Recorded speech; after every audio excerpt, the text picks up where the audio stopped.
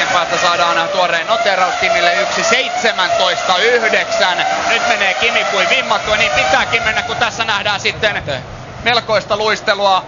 Patrick Friesacher ja siellä on keltainen lippu ylhäällä. Friesacher vetää tuohon kaiteeseen ja siellä on jälleen vähän romua radalla. Romua radalla Patrick Friesacherin kilpailu. Se päättyy varmasti siihen. Friesacher saadaan autosta ulos. Kimi kasvattaa eroa Alonsoon. Nyt sitä on 11,7 sekuntia kierroksen 31 jälkeen. Tässä näkyy tuo Friesacherin tilanne.